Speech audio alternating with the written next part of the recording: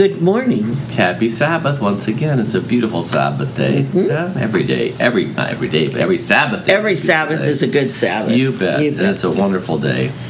God's day He made just for us to spend time with Him. Well, and we've been called according to our mission. Well, God's called to mission. yes. Yes. So, as we get going with our call, let's start with prayer. Heavenly Father, we come to you this beautiful Sabbath morning with grateful hearts full of praise. Lord, I would pray now that the Holy Spirit will descend upon us in a powerful way as we look into more depth into what your call is to mission and what part we play in it. Lord, open our minds and hearts to the call, I pray, that we may fulfill your mission in a much more rapid pace to hasten your soon second coming of Jesus. These things I ask in his powerful name. Amen. Amen. Well, the memory text is a good one. It's a follow up kind of on Go ye unto all the nations, making disciples, but it's a bit more specific this time. Acts 1 8. And of course, this is Acts of the Apostles. As a kid, I always thought it was AX. It's like, why do they have axes as opposed to the things the oh, apostles my. did? Acts of the Apostles. But in any case, go right ahead, dear. But you shall be So, But you shall receive power when the Holy Spirit has come upon you, and you shall be witnesses to me in Jerusalem and in all Judea and Samaria and to the ends of the earth. I find it very important, or very interesting and important, that in this directive and Samaria, and we know how the Jews felt about the Samaritans. Well, they were all the earth. heathens. No, well, they were cousins in I know, reality. but they were They just worship in the wrong place. But anyway. yeah.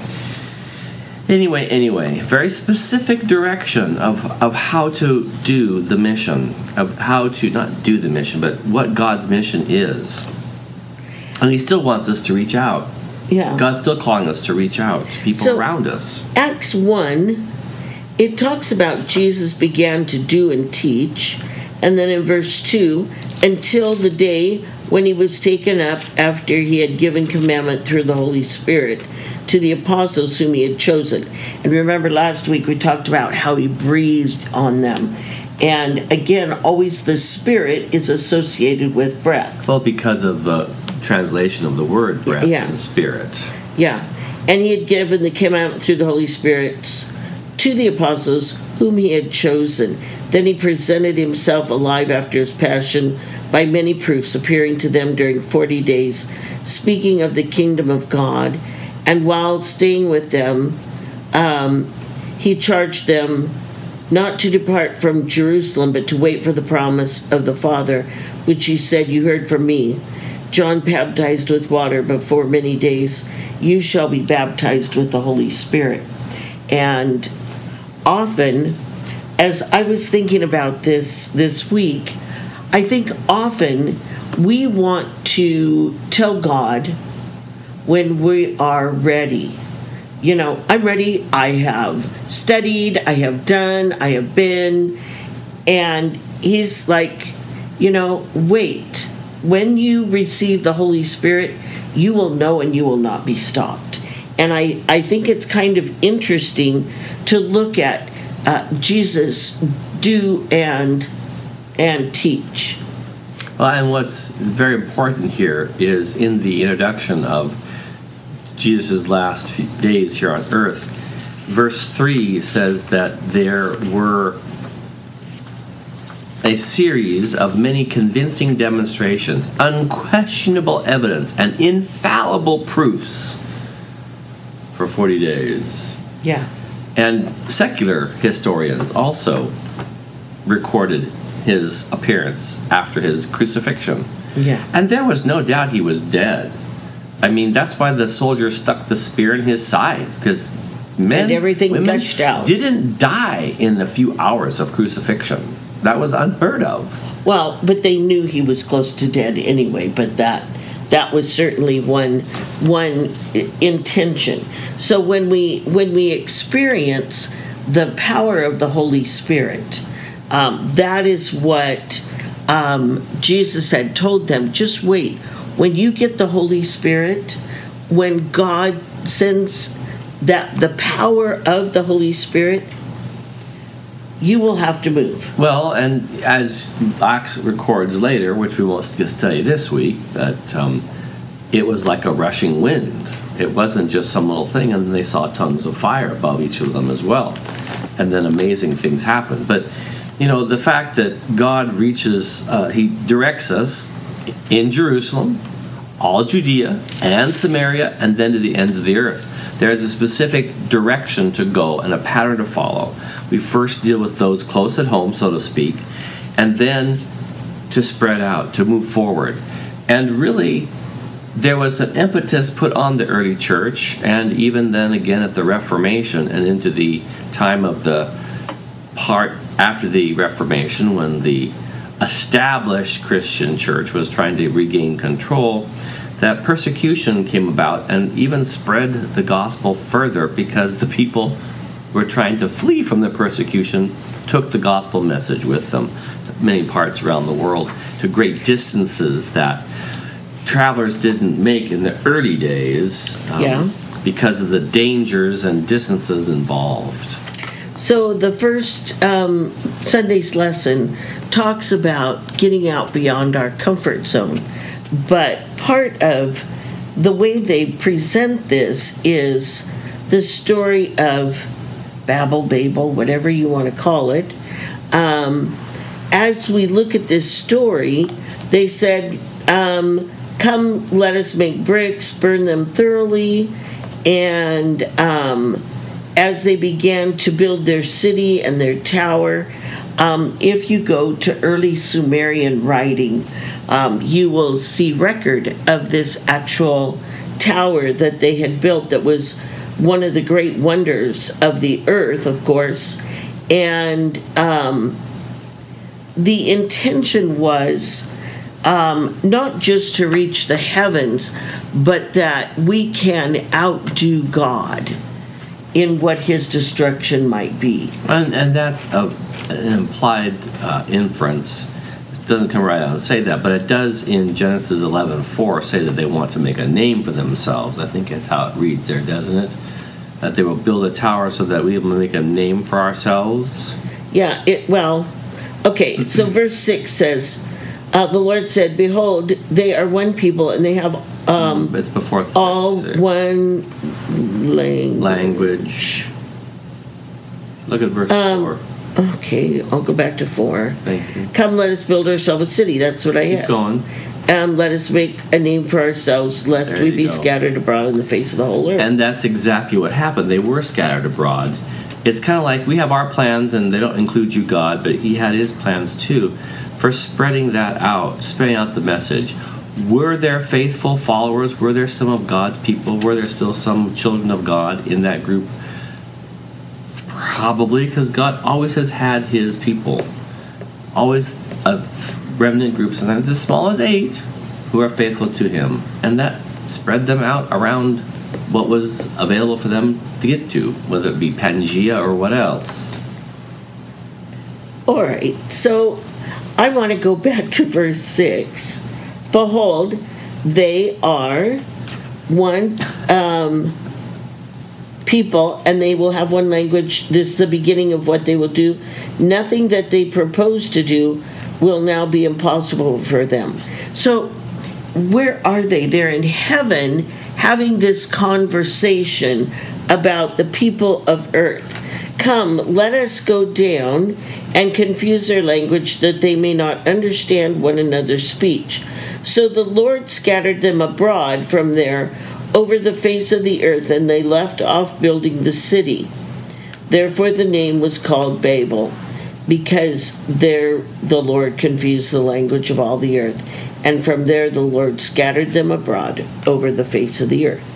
And so we know that Shem, Ham, and Ham and Japheth were were spread, um, one to Africa, one to the east, and then of course those that stayed in that area and moved into um, what we know as Europe today, but at the time it was it was the the uh, Southwest Asia and into what we know as Europe.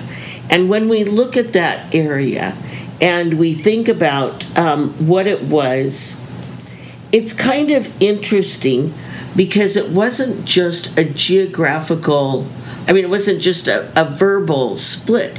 It was truly um, almost as if the others had driven them out by language to a new place.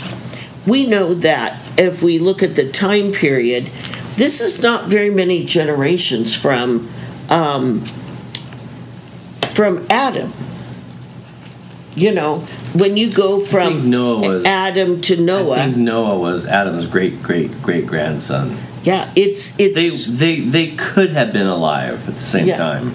the the lifespan was so long and they had not lost a tremendous amount of brain power No, and no. skill and and all of that that was afforded them at creation. In fact, if you look at the, um, not chronology, but the genealogy, I think you can calculate the flood to be within the first 1500 years after Yes. creation. And Adam lived 960 of those possi- possible 1500 years, and that'd be a, a stretch of length. It's closer, I think, if I remember correctly. I just read it recently in a document my father actually prepared.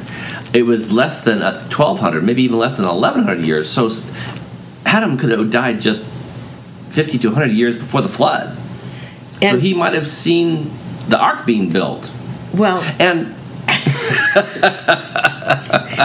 um, when okay, I we won't do that anymore, honey. Thank you. Um, but when we look at this, the intention was to stay in the same place. The intention was that I will not be moved. This is my comfort. This is where I like. We're settling in here. We know this area. We have the control. And how easy is that for us to do the same thing? And you, it also was, we're afraid the flood will happen again. They were saying, we can't trust you, God. Your promise of the rainbow, mm, that's pretty flimsy. We're not so sure. We're afraid. So we're going to do this, stay together, and build that big tower in case the flood ever happens again. So they were kind of thumbing their nose to God. Well, okay, I guess you could say that. Um, Well, after the did. after the flood, um, the command to the three sons go Yes. That's be fruitful multiply and the intention was that again um, the population would be spread out. But they were over our dead body. You know we are going to be here we're going to stay here and you can't make us go.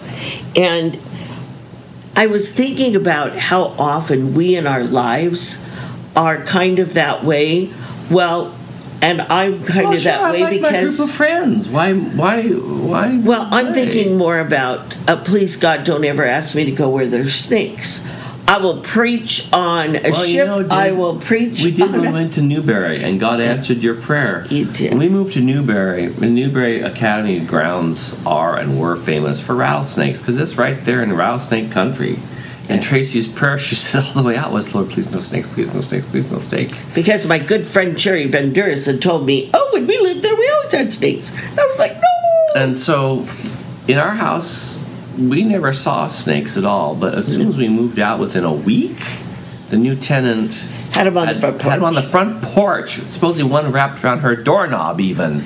So I am so, so thankful. God does amazing things that for us, dear. yeah that when we go places and we're asked to go places god is is saying trust me i've i've got this plan but very often we have our plans And that's of- our comfort zone. well, I it- like I like it here. I want to stay here, God. it also could be that well i've built this program i have this wonderful ministry i can't go anywhere else because the ministry works here and this is what i'm doing And it'll fall apart if I leave. yes because we all know that we're indispensable Indubitably. Monday, becoming a blessing to the whole world. I read this. And that, of course, is what the the dis- distribution or the disbursement of the people at the Tower of Babel began to do. But this begins, goes, jumps ahead quite a bit to Abraham, or Abram, I should say, rather. Yeah. And back to the Fertile Crescent area of the world, Yes. which is kind of where Babylon was too, but this is not in Babylon that specific area. yes, east. but right. We're looking at Ur of Cal, Ur, Ur, not Ur, The land of but Ur Ur. of Chaldees. Okay, so if you imagine the Middle East, just if you didn't have any um, Geographic bearing. geographic bearing, and you could go from the Persian Gulf, which is where the the Tigris and Euphrates enter into the sea, and then you go up the two rivers. They kind of align and go further west and north. Ur is down near the base, so clear over near to the Persian Gulf, near the Persian Gulf, and then but not a sea city. he not had a coastal city. well, but the river, so it was it was So close it's not enough. on the on the beach. no, Okay. no, no, but it was on the shores of the river, which was just as good. Sure, because big river, good transport right on down. That's right. Mhm. And so his movement of his family, um, there may have been some by water, but his flocks and all his people and whatever had to go along the river. Now that wouldn't be so bad. But once they reached the top, then they had to cut across beyond Babylon, north of Babylon, and head across to Canaan. Now, as I was reading this and- looking at that area, it became very clear to me that, you know, we go from Abram, which was his young person name when he is in his country, and um, God wanted to be able to say, I am taking. Now, this is the other thing. In all of that area, remember, there were no Hebrew children, there were no Israelites, there were no. Yet, because Hebrew means journeyer. Exactly. And so when we look at the story of Abraham, Abraham has a relationship with God. His father had a relationship with God, Though he made idols. though he made idols, which kind of funky. But anyway, um, we won't go there. But it's interesting when God calls Abram, Abram he heads off, and he, he- it wasn't just like I can pack a few bags and away we go, and get in the station wagon off we go. it was, you know, we're moving whole crowds and herds of people and animals, maybe 500. 10 or 12 mm, on a good day, and on most days, not even that far 10 or 12 what? miles. Oh, thank you, dear. And just how slowly people that of a sudden. journey. Well, and you think would about be. this though too. It wasn't just adults. There were there were children, and you know how fast do kids move? Well, and that's why I wonder sometimes. I, I'm going to watch the video when I get to heaven, but um, I think some of his people may It's have. a hologram, dear. Not I know. It'll be a hologram. Hologram. Uh, but some may have gone along the river on boats. You know, we don't know. But we do know that they journeyed. Now, through this area, um, because of Abram and the family business, they would be well known along the trading route.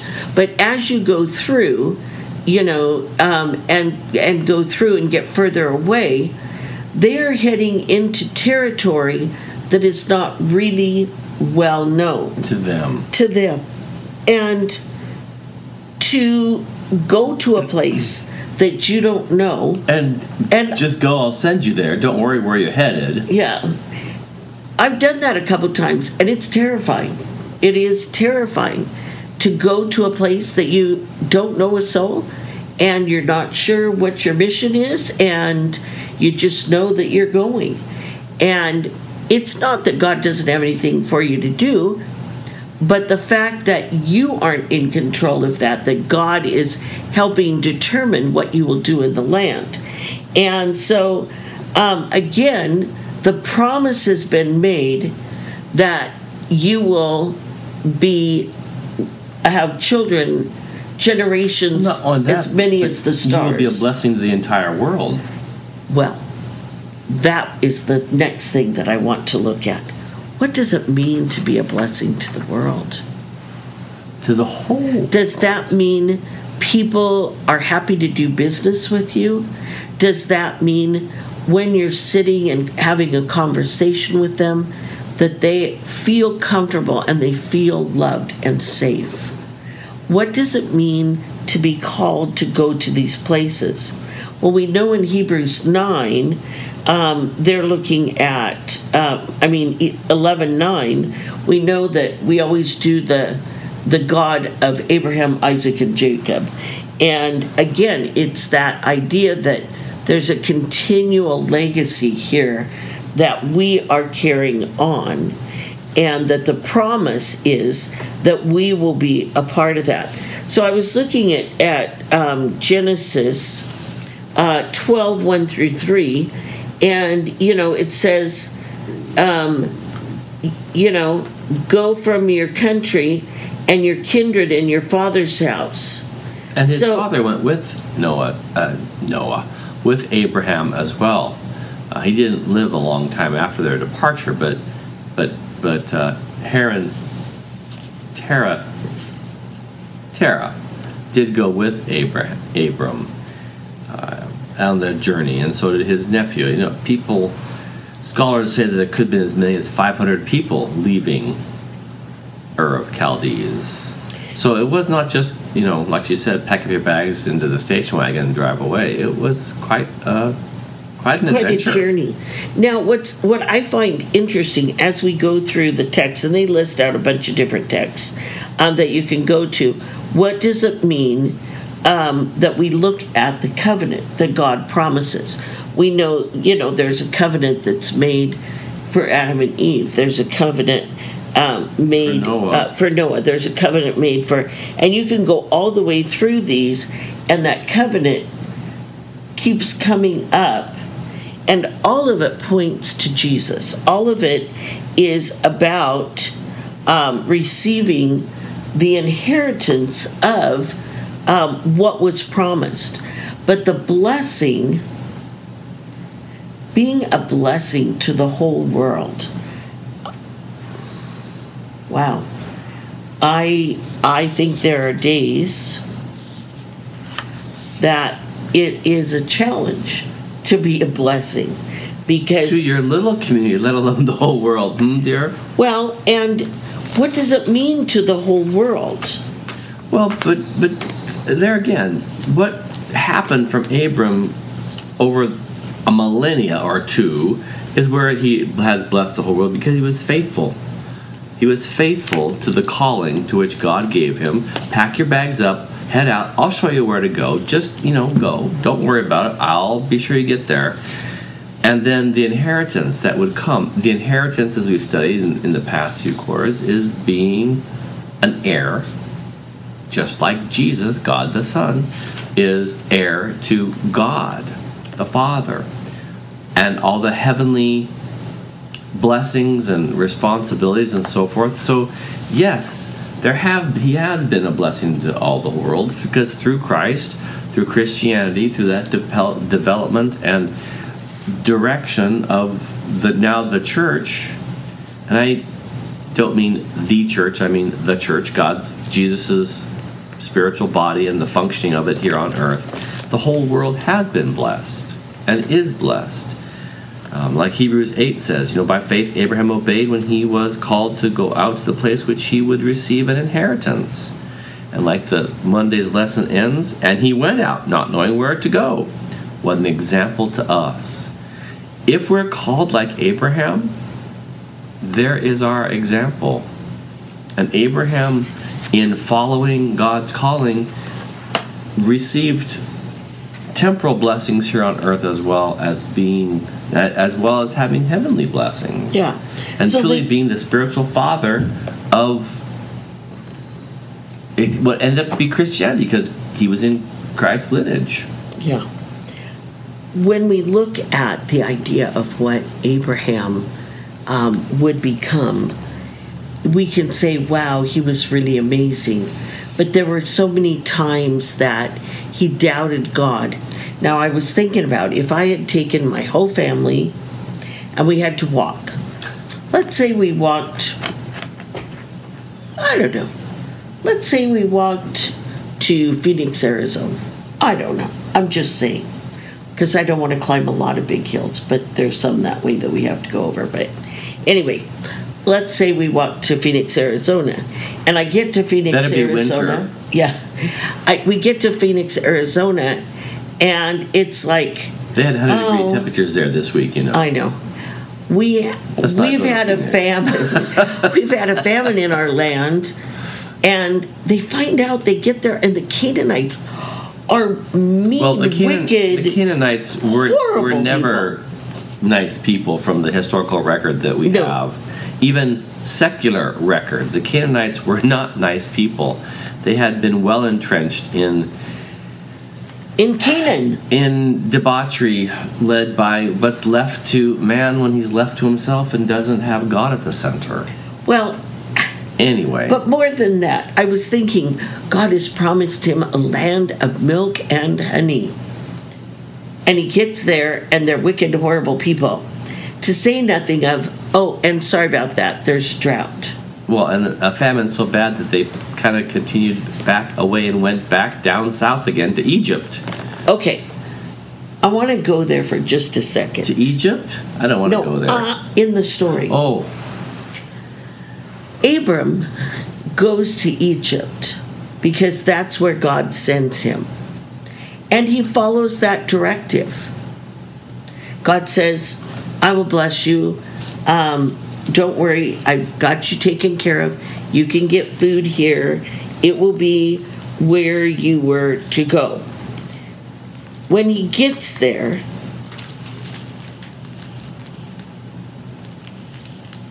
he starts doubting God.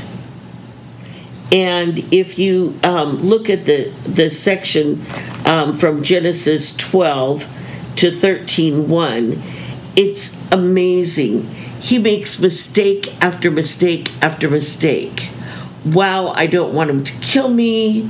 So I'm going to, instead of saying um, Sarai, is Sarai, or whatever her name is, is my wife, I'm going to call her my sister. And um, the Pharaoh in Egypt is, you know, quite taken with her beauty. And says, I want to make you my wife. But in the end, that is prevented not by Abraham standing up and going, Hey, I, I, I should have said, She's my wife.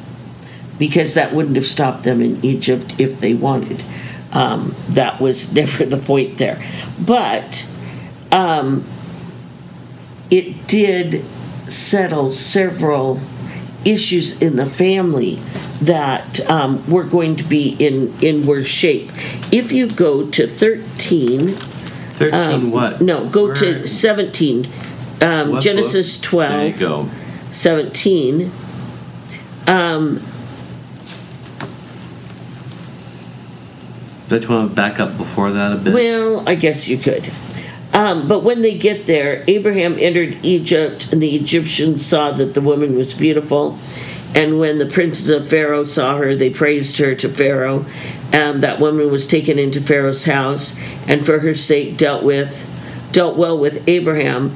And he had sheep, oxen, he asses, and men, servants, and maidservants, and she asses, and camels. But the Lord afflicted Pharaoh and his house with great plagues because of Sarai, Abraham's wife. So Pharaoh called Abraham and said, What has you done to me? Why did you not tell me she was your wife?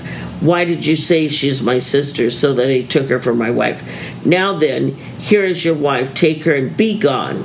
Pharaoh gave them in orders concerning him, and they sent him on his way with his wife and all that he had. So Abraham has to leave Egypt. Now, I want to do a little contrast here right now.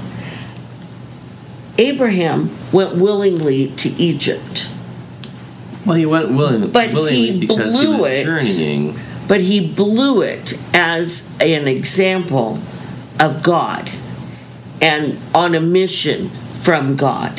He blew it. In contrast, Joseph didn't want to go to Egypt.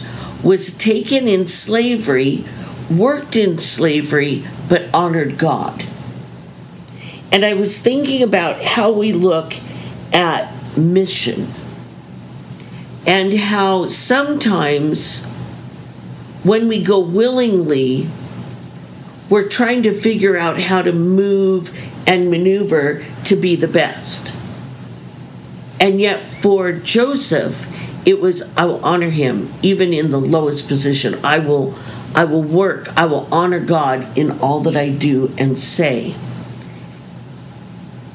When we serve God, God is not asking for us to do anything or to um, determine who will interact with and how that will turn out. He just says, go and serve. And to me, in this part of the lesson, I I thought, you know, two lessons. One, God loves us. Oh, sure. And he puts up with us even when we're not very bright. When we're people. Yes, when we are not the sharpest tool in the shed. We are, you know.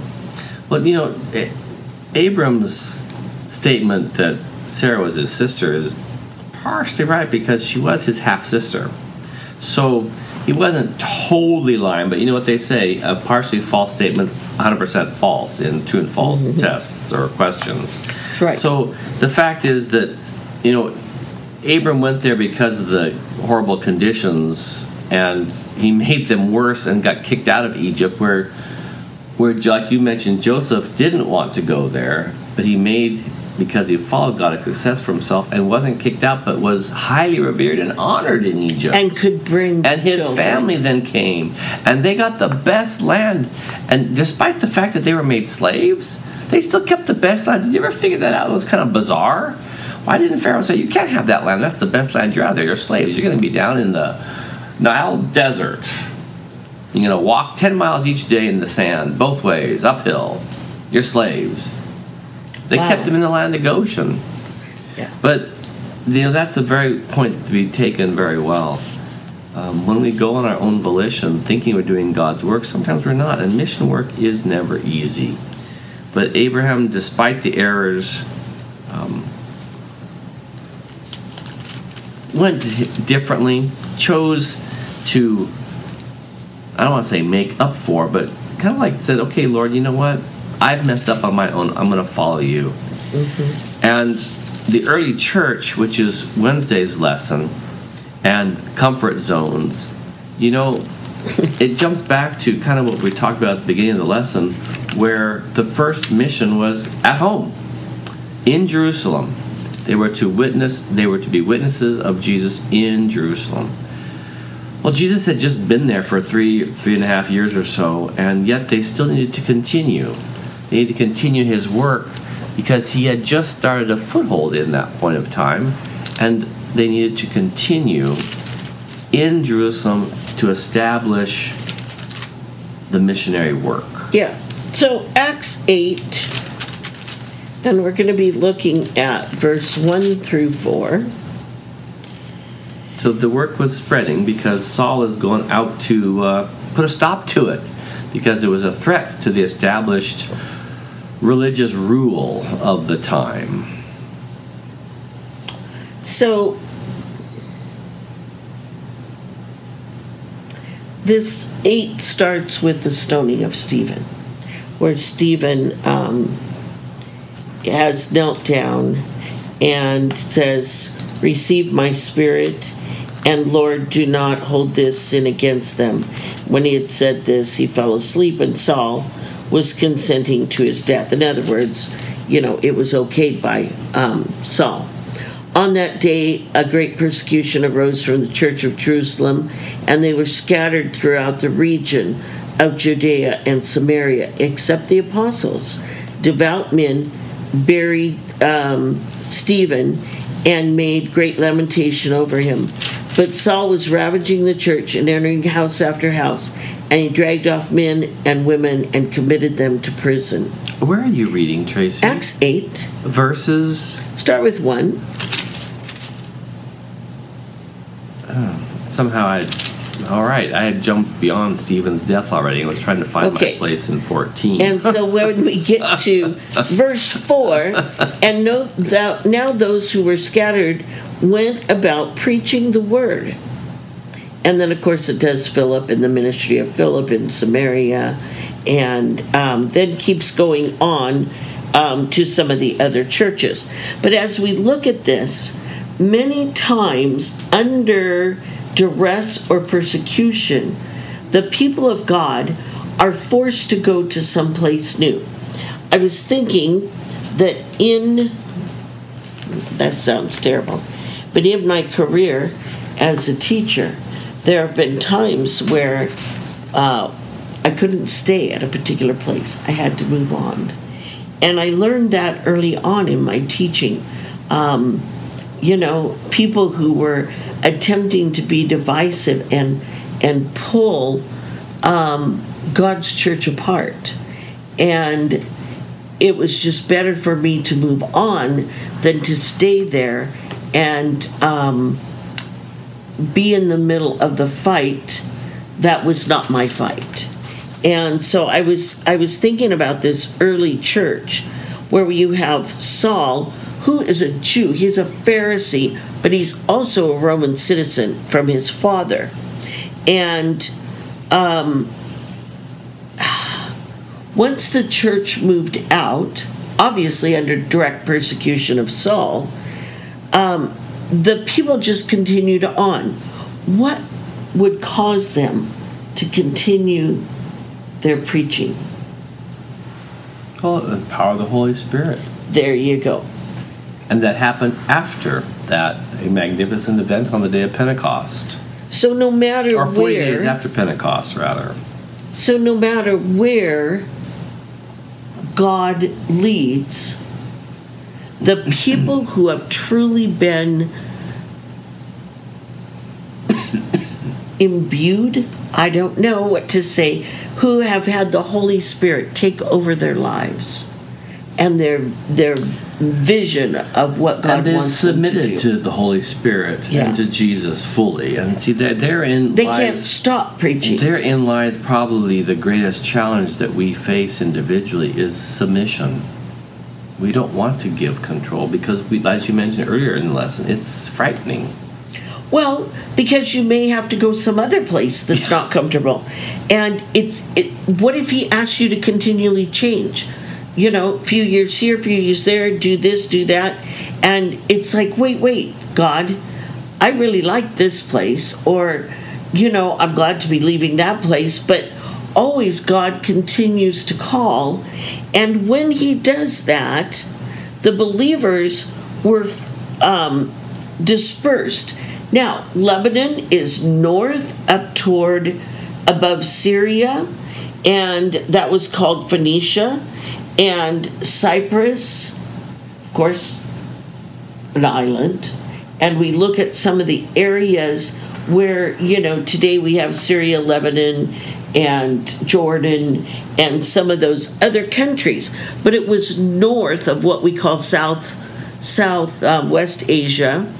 And if you went a little further east, you get into what we call in the Western world um, Iran, Iraq, and Iran, and but all of that was known as Persia. And of course, you know, all of this land was was well known, but had really experienced. Um, how do I say? Had really experienced Islam and the persecution and the power struggle that would go on back and forth um, between these groups. So, Paul, obviously, a changed man, uh, my little uh, nephew, great nephew, um, has discovered the story of Paul. He loved Pharaoh. Let my people go. No, he would say. And now he's into um, Paul, Saul, falling off his horse. Which he probably didn't have, but anyway. Well, I don't know, but it makes a great story for him. Down, but Yeah, but he falls off his little rocking horse, and his dad says, Why are you persecuting me? And he goes around and pretends to be blind and say, okay, understand Yeah. he's only two, three. Yeah. But so it's a great he's story. small child still. But when we look at that, that part of the story, Paul begins to embrace as much as he had his wicked persecution of the Christians, he now has put his zealot heart into Christianity and spreading the word of God's amazing power and grace for all sinners. And Paul, um, I was interested in in the fact that Peter, Peter really didn't want to go and preach to anybody but oh, he was working in. Jerusalem. yeah, and that was his his um, That's what he thought his mission was. yeah. His And message was I'm not I'm not the- going to those Gentiles. No. I'm just going to stay here. However, However, God had other plans for him, and we have the recorded, excuse me, the recorded story of, of Peter being in Joppa and having a dream about all these unclean foods, and he's supposed to eat from them, and so forth and whatnot. And finally, you know the story. It was the dream three or four times, and then people came to ask for him, and he realized he was being called to go witness, take his message, be an apostle, a messenger to the Gentiles. And when that happened, he said, Oh, okay. He willingly consented, had a change of heart, moved out of his comfort zone there with the Jews, and went beyond with his, for lack of a better word, evangelistic campaign to Yeah. bring Christianity to non Jews. yeah. Now that that dream, when I was young, I thought it was a dream about vegetarianism. Um, she was very young at the time. Well, I was, and I was rather naive about um, some of this stuff. But I do want you to look at Acts 10, if you will go back to Acts for just a minute, and look at 10. And we're going to look at 9, verse 9 through 15. Acts 10. Acts 11 is really long, but um, Acts 10, 9 through 15, and 15. then 20 and 28. Or 28 and 29, rather. um, it does Peter's vision. And I was thinking about if somebody went into a vision today, it says that he kind of fell into a trance. And that's how he um, went through the dream. I was thinking about Ellen White and how she would go into a vision and, you know, people around her could move and talk, but she was in this vision. And I don't know that I've heard of many people talking about, oh, I had a vision of, you know, we have a vision for what we want, but the vision from God that had been sent down. And so as I was looking out of the, at that, if you go to verse 28 and 9, Still in Acts 10. yeah, it does this. Um, you yourselves know how unlawful it is for a Jew to associate with or to visit anyone of another nation. But God has shown me that I should not call any man common or unclean. So when I was sent for, I came without objection, and then I asked then why you sent for me. And then we go to So Peter had a total change of heart here, Yeah. knowing that God was telling him something different. We, this is a changed Peter from, I'll defend you to the end, and here's my sword. I'll whack off the servant's head and miss and got his ear. You know, I'll defend you to the end, and denied him three times. But Peter's a different person. Oh God, that's oh, here I am, Lord, send me. Almost. well, and he finally gets it. If The dream that is uh, the that did three times, thirty-four. Yes. Truly, I perceive that God shows no partiality, but in every nation, anyone who fears him and does what is right is acceptable to him. You know the word which was sent to Israel, preaching good news of peace by Jesus Christ. The word which was proclaimed throughout Judea, um, beginning in Galilee after the baptism. Anyway, he goes through the life of Christ. Um, but then he said, He commanded us to preach to the people and testify that He is the one ordained by God to be the judge of the living and the dead. To Him, all the prophets bear witness. Everyone who believes in Him receives forgiveness of sins through His name.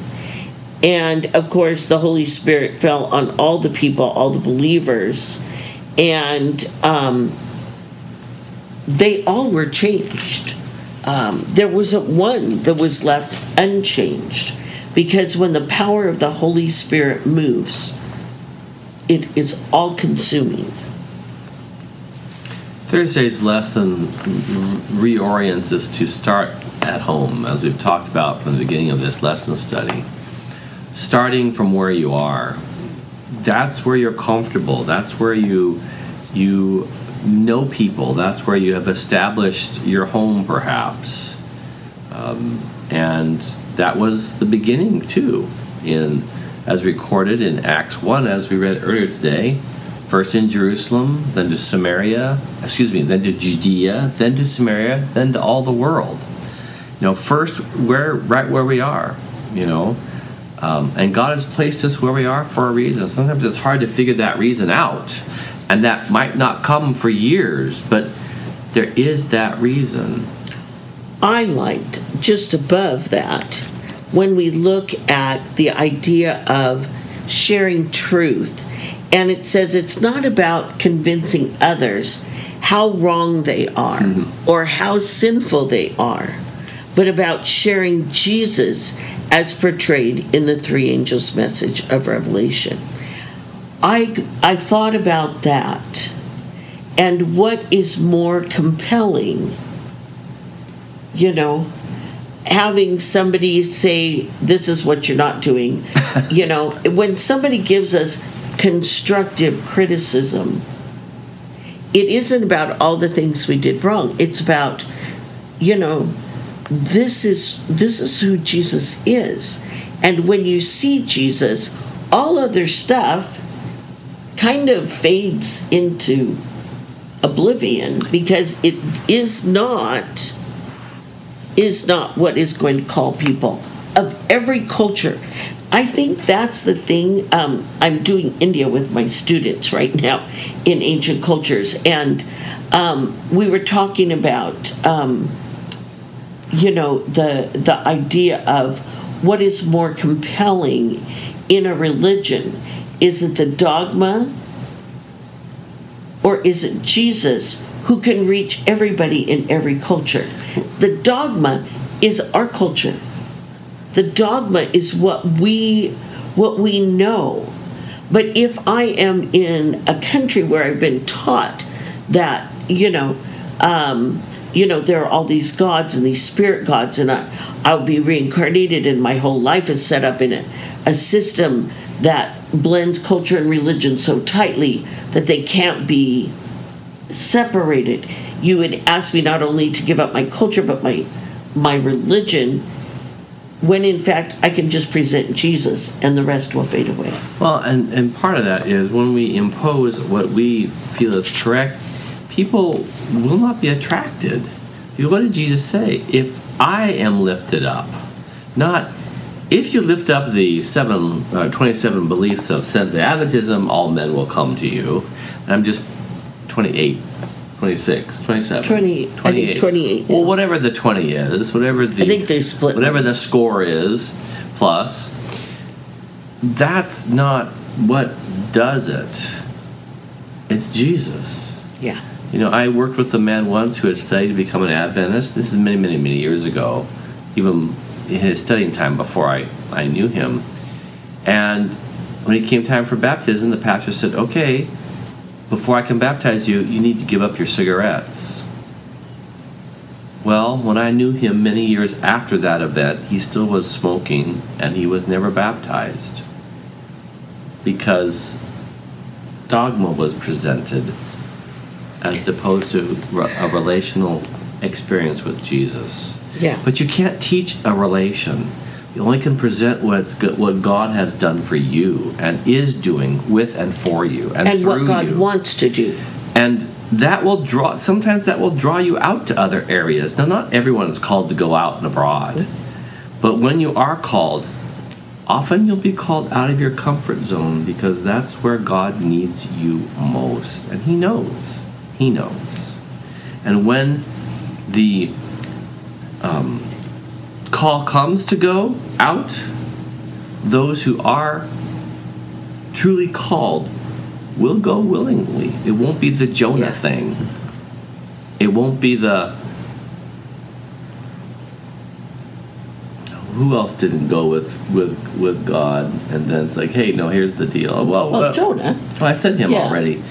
And also when Elijah ran from Jezebel, and God said, no, no, no, no, look, I got people back. Let's get going to where you need to go. He's, uh, as as we would say today, he's got our back. You know, God does provide when you are truly called and are following his plan. Well, and that Great Commission we hear over and over, and it was the last commission that God, that Jesus gave to his disciples, but that that is given to us each and every day, and being willing to say, God, what do you have for me today? That question is the question we have to ask every day. What is it you want from me today? Is there someone I need to touch? Is there someone? And I know that, you know, I have a tremendous list, and it's impossible to pray for everybody that has asked me to pray for them. But I know that when I need to pray, God calls that person up to me throughout the day. It can be in the middle of the day, it can be even late at night. There are times where I'm I wake up and I have a person on my mind and I can't go back to sleep. And I'll pray and pray and finally I get to go back to sleep. I don't know why I prayed for that person, but God does. And God God can use us in so many ways. And he doesn't always ask us to go far away from our home. Um, one of my um, former students right now um, is working with people from Australia. Um, Is he? who have In, come- is he or she no, in Australia? No, who have come to America Ah. to be missionaries. There you go. And it's so funny when you think about it. Well, not really. People from Australia are coming here because they're missionaries. And we go other places to be missionaries. but- I just, I, it, to me, it's kind of um, an interesting perspective because we think about America and we're going out to bless the world. But that's not what God is asking us to do. He is asking us to be a blessing and when he calls us to respond. And that's that's what we're looking at through these next few lessons. Let's bow our heads. through your spirit and through the life of Christ, we get such a beautiful picture of God. And we thank you, Heavenly Father, for that. We thank you that you had a plan. We thank you that you have given us opportunity to be a part of your mission. And that mission is to restore us, to be whole, to be your witnesses through eternity. We pray that we will open our hearts and we will be willing. We pray this in Jesus' name. Amen. Have a great week. See what mission God might have for you open to Him. And that can be quite an adventure. See you next time.